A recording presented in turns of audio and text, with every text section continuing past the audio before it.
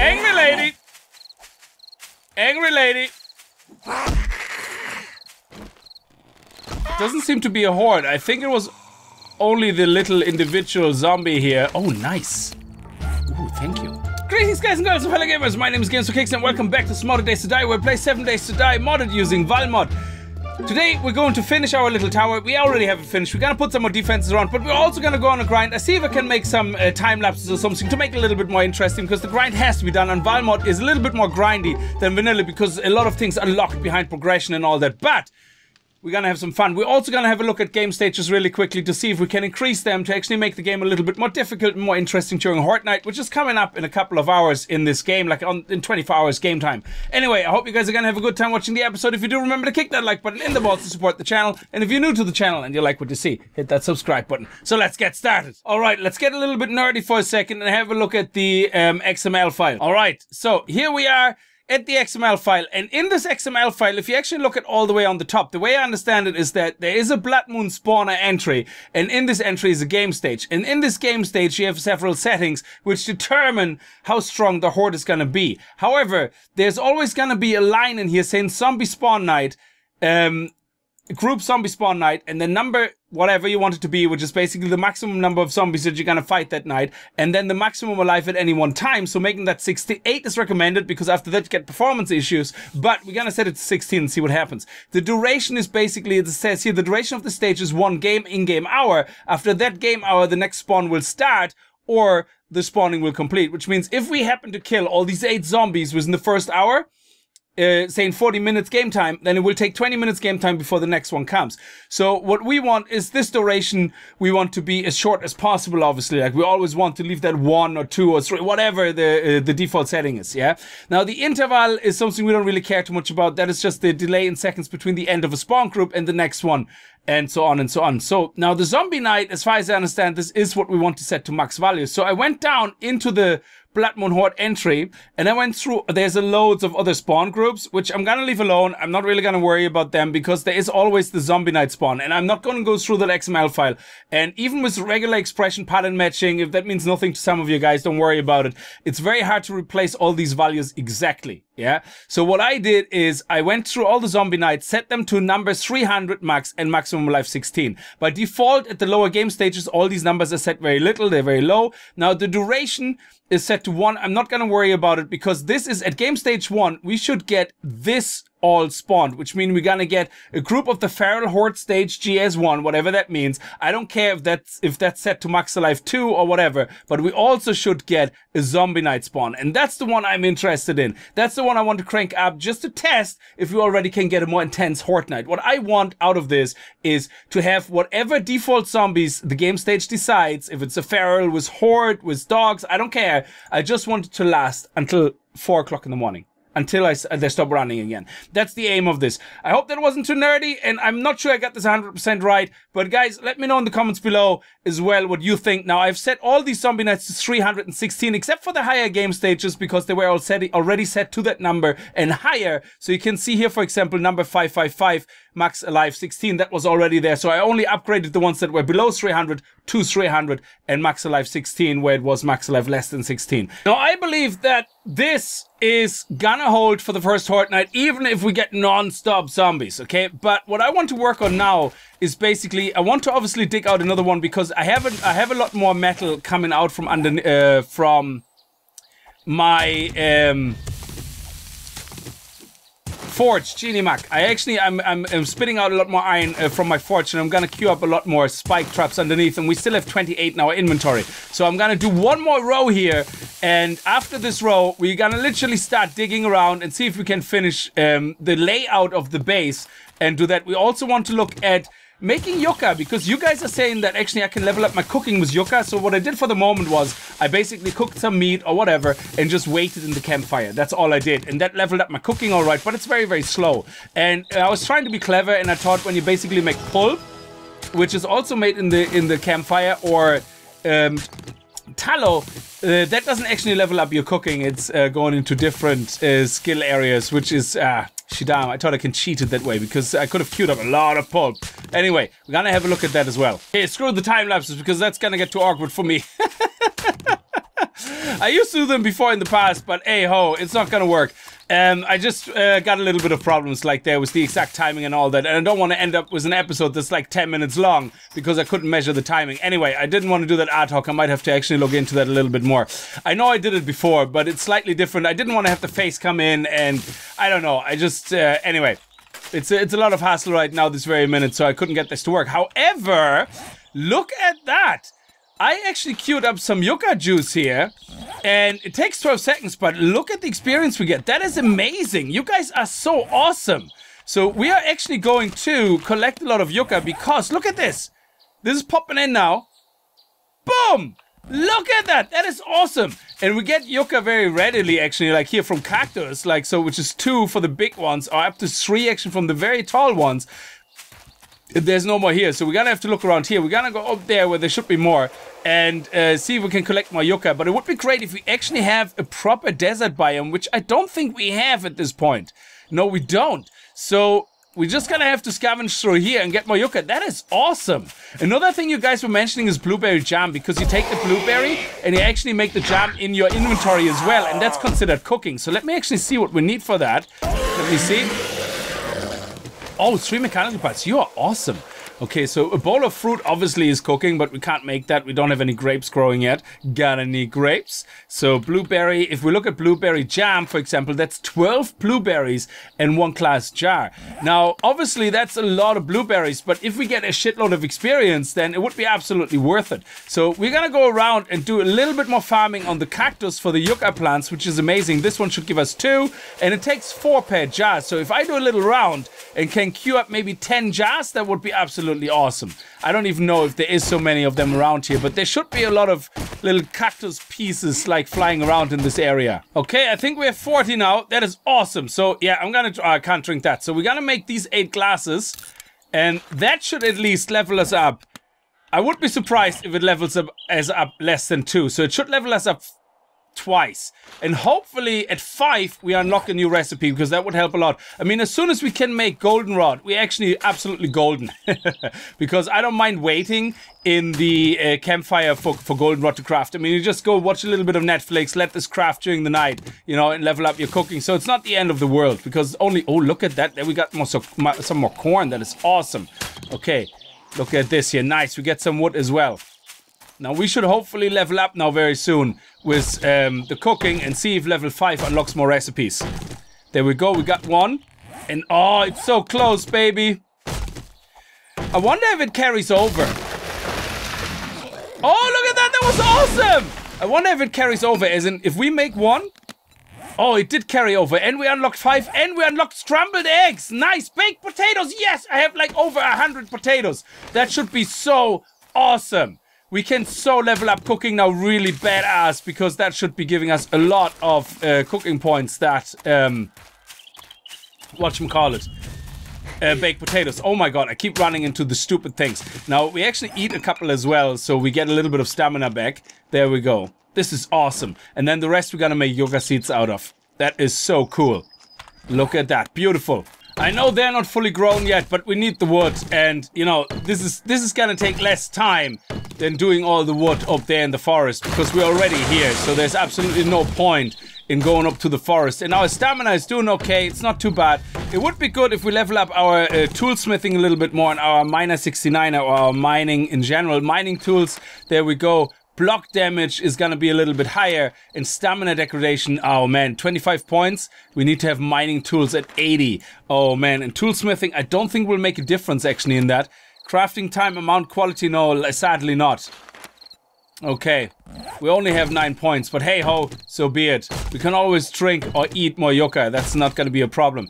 Now, uh, we have a lot of, um, we have some blueberries down here and we have some coffee down there. Hopefully we're gonna be able, we already uh, unlocked another 5x5 uh, field, which is goldenrod, chrysanthemum, corn, potatoes, and now here we have a mix of blueberries and I don't know what the rest is. I think they're all blueberries and some yucca. So hopefully we will be able to do another 5x5 field just for yucca. And then after the next harvest, we're gonna do the 5x5 purely for blueberry as well. Which means we have 50 blueberries coming in every time. Which means a full reseed plus two, uh, two blueberry jams. which should level up our cooking as well, which is gonna be nice. And then maybe we're gonna do another 5x5 blueberry field, because that would be awesome to have like literally uh, four blueberry jams per harvest and then being able to reseed as well. I'm also queuing up some spikes because they take forever to craft, but luckily I can craft them in my inventory, which should help a lot to get ready for the Horde Night. So what I want to do is another row of metal spikes around, and then, because we have 28 left and I'm crafting a few more underneath in my base, and, um, oh, actually we want to replant as well, and we want to uh, make some spikes. So that's why I want to have all these trees chopped down, because that should give us enough wood. Okay, let's plant them again, because we're out of stamina. There we go. One, two, three, bam. And make sure we're gonna till it first. The tilling for trees, there is no difference as well last time I tested it from a tree, you get a certain amount of wood. I don't know the exact number now again yet, but I, I think on a full grown tree uh, at full level, because obviously between alpha 15 and 16, the uh, skill differences are now huge between the different levels of skill. So what we used to get, like say something like 700 wood out of a full grown tree, but when it's tilled, you get 750. But when it's tilled with fertilizer, it was still only 750. So I would recommend, um, until I can test it fully at max level, if there's still a difference, to always have um, your ground tilled you put the tree on. So you basically can ensure uh, max level of wood or max uh, return of wood. There we go. Excellent stuff. Now let's see what we have here. This will also level up our uh, traps which is now 11, which is really, really good. And we need that high level so we can unlock actually the plate traps. I think this is all under traps as well. So if we look at traps, Ah, your balls. Come on, you. If we look at traps, um, every 10 levels unlocks a new tier. I don't know how much of this is actually behind electric traps, uh, electric traps, because I know that we have electricity basics. This works to unlock recipes for electrical devices. Ooh, interesting. And then we have the battery bank, which we need to find a recipe for. But there was another thing, an energy Ah, there we go. A generator bank. That's what we can unlock. It's science level 2. So let's see if we can actually get some science levels in. 3, 3. Excellent. Science level 2. And now we can have the Jenny at 5 points. Oh, I'm 2 points short, which is a pity. But switches and triggers, we can unlock that as well. That is awesome. So we actually can get a generator much earlier in the game. When I was playing... Oh, new recipe unlocked. Mead. Blueberry mead. That is awesome. How did that unlock? Apple cider? How did that unlock? What did we do? Oh, we finished our yucca juice. That was still crafting. No. How did we unlock that? That is weird. Well, how come that only triggered now in my screen? What did... That is weird. Was it purely from chopping trees? What? What triggered that?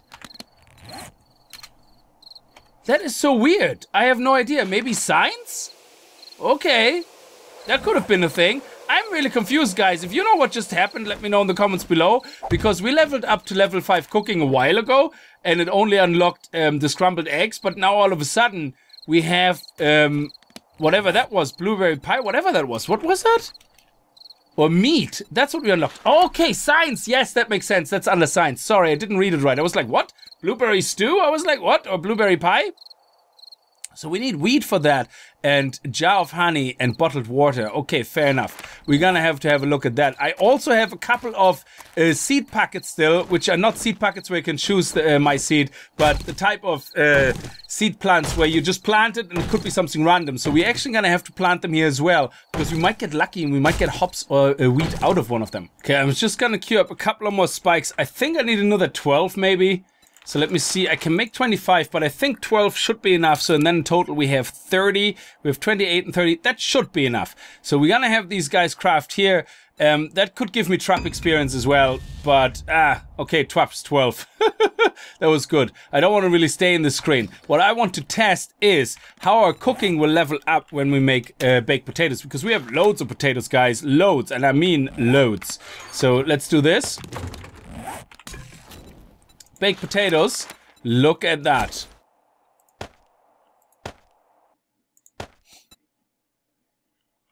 Okay, let's see. What do we get for one baked potato?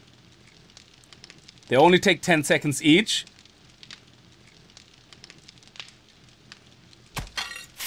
Okay, so... Oh, we only got a little bit of cooking. So let's see what we have here. We're here at approximately well, we can see it. We're we're about here, okay? So let's see what we're gonna get for one more potato. Because I have a feeling, because you can make them so easily, that you don't get a lot for it. I wouldn't be surprised if that's the case. Because if it is, then... Oh, it actually is not bad. So I would say that that was about this much. So the, all of them might only just be a level and a half. That's interesting. That's interesting indeed. So I'm not sure if it's worth it. In the moment, we don't need food, so I think I might keep it until we unlock something more high tier, if you know what I mean. So we'll see if we can use it then, because it would be good to actually uh, take these guys and you make them used, uh, use them with um, something for stew or something, you know, more. Um, there's more body that is a little bit more of benefit when you eat it to you. And oh, we have a roaming horde. Oh, no, it's not a roaming heart. It's just an individual. That's okay. Oh, there's another individual. That makes two. And if there's another one, that makes three. So we better get rid of them before they start running because we're going to be spending time outside doing a lot of work. So, um, and the last thing we need is like having these guys start running at us and give us a, giving us a hard time. Come on. We also find found out in the last episode that the the bobbing of this only seems to be affecting the actual uh, bow, but the target is not actually affected by it. You can see it here. It still hits the target right in the face, even though it's weaving left and right. Which is okay, but that kind of makes the weaving to me redundant. And it's like, well, you know what? You might as well get rid of it. Because if it's just a visual distortion now, and it doesn't actually affect your aim, well, it does affect your aim if you focus on it, but it doesn't affect your aim if you actually look through it with the um, with the eye. Then it's kind of pointless because I thought the whole idea of the bobbing was uh, to make it like difficult to shoot as well. So let's see, we have some more yucca seeds that I made out of the yucca plants. I'm gonna put them here. And we're also gonna put these five random seeds down, which could be anything. Look, that is amazing. Okay, maybe we're lucky and one of them is gonna be weeds or hops or whatever. And then we gotta put another five of those down. So yucca, we should be able to make a five by five yucca thing very quickly as well as blueberry, which would be really nice. And hopefully one of those guys here will be hops or wheat or something else we don't have yet, which would be fantastic. So let's chop down this guy and then we're going to finish the second row of spikes and then we're gonna start, until the Horde Night, we're gonna start working on the rest of the wall. You know, we're gonna get some clay, we're gonna make some cobbled rocks and we just keep on pumping out uh, the blocks and keep, keep on going on the wall because we want to get at least the general layout done, which would be really nice. Excellent. There we go. And now they start running. Okay, you guys are not ready yet. Okay, that's okay. That's okay. I understand that. No problem. Let's see if we have enough. 28. I don't know if 28 is enough, but like I said, I made another 12 in my base underneath. Balls. Okay, that was such a waste. Oh, man. I could leave it there, but I really don't want to. Like, it, the aesthetics actually bother me so much that I just rather not. And, and the funny thing is that a lot of you actually get very annoyed at the aesthetics of the upside down spikes. Somebody actually gave me a complete realistic reason. And this is not realistic because blah, blah, blah, blah, blah. And it's like, well, yeah, but I like, personally, I like that it's flat. And I think I should play the game the way I personally prefer the looks of because, well, I have to live in this world and I have to play with it and hopefully entertain people in the process. But I do not play this game solely for other people's purpose. And if you don't like the look, I think you should build your base your way, post some pictures on the internet, and be proud of yourself, you know? And then you have other people ridicule your design, and then you can feel shit about it because you don't like when other people talk smack about your designs. okay, I went a little bit too far there. Like, okay, no. Criticism is always welcome. Don't get me wrong, okay? So I'm just I'm just making fun. I'm just making fun. Don't get me wrong at all, please, okay? I'm just making a little bit of fun time. Let's see. Oh yeah, we don't have any cement yet. So let's get out. We need more clay. We need to make these cobblestone rocks, guys. So we're gonna need to go outside, digging up more clay and putting these down. Let's see. I hope these guys are enough.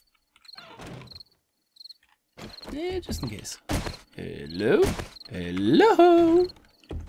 Okay, that seems to be good. That seems to be good.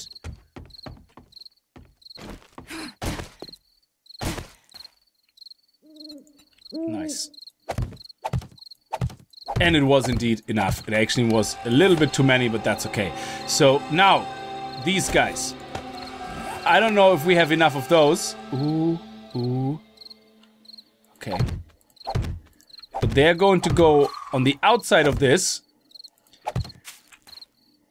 Just like so. And a few of you actually were saying we should put them on top of these, which I think is a great idea. But the problem is they can actually then get up here. So I don't want to put them higher than necessary right now. Because like I said, zombie climbing on top of the spikes can hit the top here and then climbers potentially can get up on that because all they need is, is one zombie body dead on the spikes and they climb on top of it. And then they can reach the extra um, height, which I don't want them to have. Angry lady! Angry lady! Doesn't seem to be a horde. I think it was only the little individual zombie here. Oh, nice. Ooh, thank you. That is pretty awesome. That is pretty decent of you. Oh, whoa, oh boy. God, we got a lot of solo runners here tonight. Hello, how are you, my friend, tonight? May I interest you in an arrow in the face? There we go, thank you. Oh, I got your shoes. I got your shoes now, bitch. oh man, it's like I'm digging my own grave. Like when I'm working on these things, it's like I'm digging my own grave. And you have to be careful about your stamina as well. There we go, nice. Because if you get your stamina too low, you're absolutely screwed when zombie time comes. There we go. This is actually working out really well. I like it.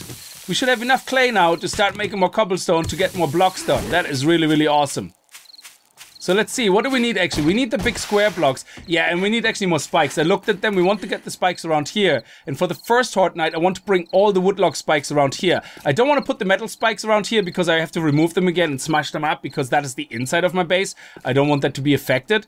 But we also need to upgrade these guys here on that side, these top guys. We can't forget those. Because this is what the zombies will be hitting. There's absolutely no excuse. These guys have to be upgraded. Not these guys here on the inside. Only these guys here. Because these guys will be destroyed again.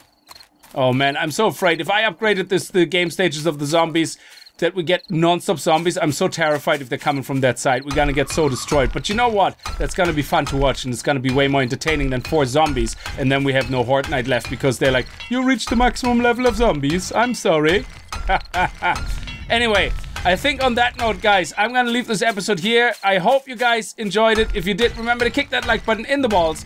And I hope to see you guys in the next episode. And remember, if you have ideas um, or anything you want me to try out, try out for the base, you know, for the base designs, or what you think of the game stages, if, you, if that's the right way, or if you have more experience that, let me know in the comments below. And if you're new to the channel and you like what you see, hit that subscribe button, and I'll see you guys next time. Until then, as always, viel spaß and happy gaming. So this is where the next tower will start. So that should, that's actually not bad. There we go. That's lovely. Excellent. Oh, oh. Hello. Oh, you're crawling. Nice. You're not even a runner. Sucks having no legs, dude. Like, what did you go over? Probably cactus. These cactus are deadly. Actually, just having a cactus farm I wish we could have cactus actually. That would be such an awesome defense. Like just put like a hundred cacti around your base and everybody will be legless. that would be so awesome.